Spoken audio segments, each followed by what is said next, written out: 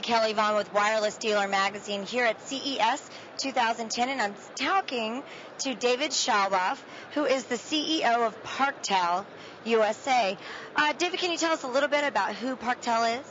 Yes, um, uh, thank you. Uh, Parktel USA is a partner distributor of Nokia North America, and we are located in New York, uh, Irvine, California, and Miami, Florida. Okay, now why would retailers want to carry your products?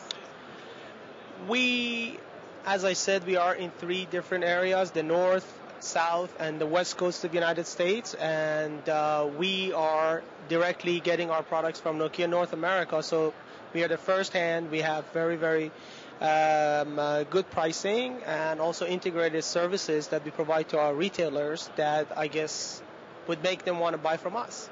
All right, because uh, I was going to ask you, is there anything that really makes you unique or stand out from your competitors? Because I know there are a lot of people in your industry. Yes.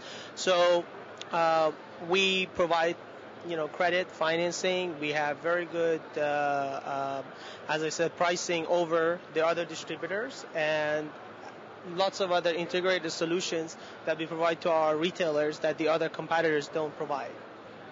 Now, are there any like really great products coming out in 2010 you want to tell us about? Yes, actually, the Nokia X6 that is the next generation of the old, I guess, Nokia 5800. Not exactly the same, but very similar touchscreen. Um, the Nokia N900 that already launched, and we are trying to push that out in the market for the customer to know about it. So these two products really are going to be the next great hits of the 2010.